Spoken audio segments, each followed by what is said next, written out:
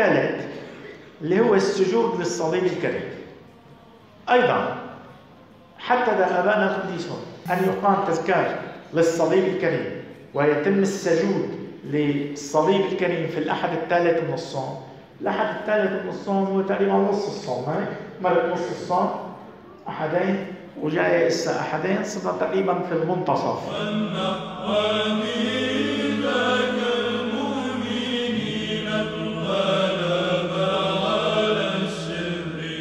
بالعادة إذا واحد قدامه طريق بده يقطعه هيك وقت بيوصل إذا طريق طويل وإلى آخره بيوصل لنص الطريق يمكن يتعب يمكن يطلع هسه يشوف بس قدامه مسافة طويلة يتلكأ شوي إلى آخره.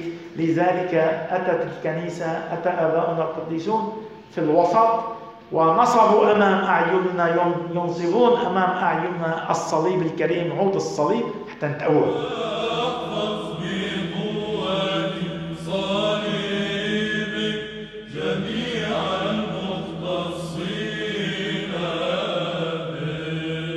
حتى نتأول حتى نتذكر إذا نحن من ناحية هناك درب درب الصليب وهو مؤلم من ناحية ولكن ما ننسى أنه من على الصليب قام الرب يسوع المسيح بذكرك بالقيامة وبالفرح وبالخلاص وبالنصر حتى تتقوى وحتى تتشدد وبتكون وصلت إلى منتصف الطريق. مشان هيك في الأحد الثالث من الصوم بنجيب عود الصليب بنحط الصليب بصينية وبنحط الزهور وبعد القداس الإلهي بنعمل زياح هيك في الكنيسة وسط المؤمنين بالصليب الكريم وبنحطه في الوسط. وفي ذاك اليوم منرتل لصليبك يا سيدنا نسجد ولقيامتك المقدسة نمجد. الرب قد ملك فلتسخط الشعوب. خلص يا رب شعبك